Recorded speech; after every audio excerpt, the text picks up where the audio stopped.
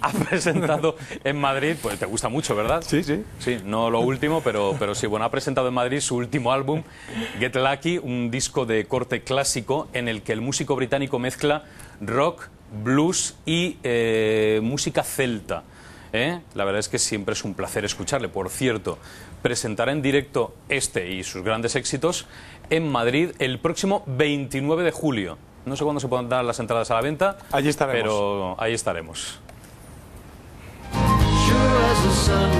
Reposado y añejo como el mejor tequila, Get Lucky es un álbum intimista y casi autobiográfico. Su infancia escocesa, las frustraciones juveniles, con algunos detalles de música celta.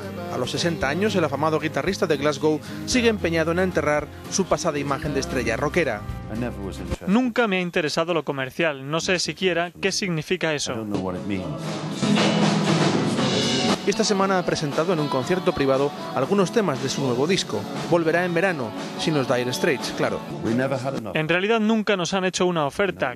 Quien quiera nos la puede proponer, pero de momento nunca me lo han ofrecido. Knopfler defiende su vuelta a los orígenes del rock con un sencillo argumento. Si quieres componer, ayuda bastante conocer las raíces. Y de su infancia nos desvela una inocente, guitarrera y deportiva confesión.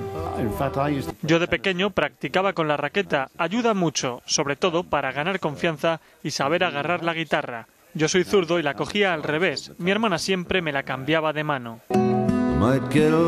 Sin embargo, el hombre tranquilo del rock todavía disfruta marchándose de gira, siempre en verano, porque los conciertos ahora tienen que coincidir con las vacaciones escolares.